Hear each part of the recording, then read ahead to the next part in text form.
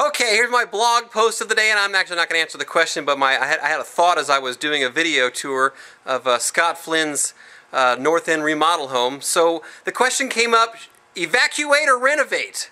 It's a great question. If you're sitting here going, okay, I might move, I might not move. So we're going to ask Scott some tips about uh, deciding whether to move or to uh, evacuate or renovate. That's, that's the blog post.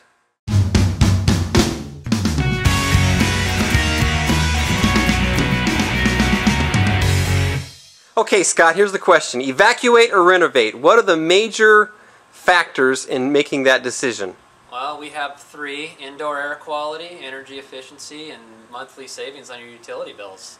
Um, you wouldn't imagine the junk you breathe in in these old houses, um, everything that's emitted from them, even in the newer houses, all the carpets and pads, and just, you'd be real surprised.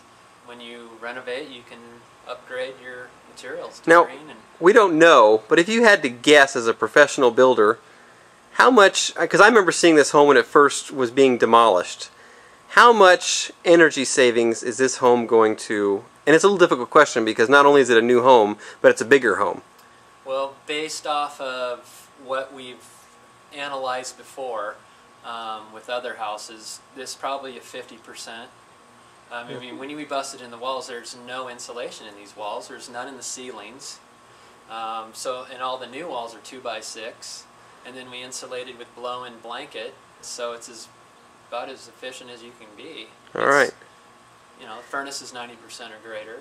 And money, of course, is the big one. And I'm actually going to answer this question for you. There's a website, and I'll put the link on this video, but I believe it's called remodelormove.com, and they actually have a, a widget that allows you to tell you uh, if you should move or not, and it figures out all the calculations.